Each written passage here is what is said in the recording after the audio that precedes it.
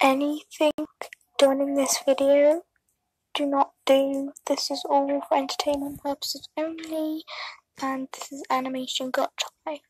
Everything done in this video is not safe. Like, stuff like this, obviously. It's not safe to be done in thingy. You know.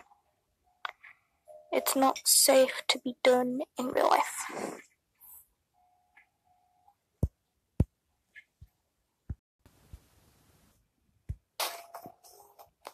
What actually happened when you do that?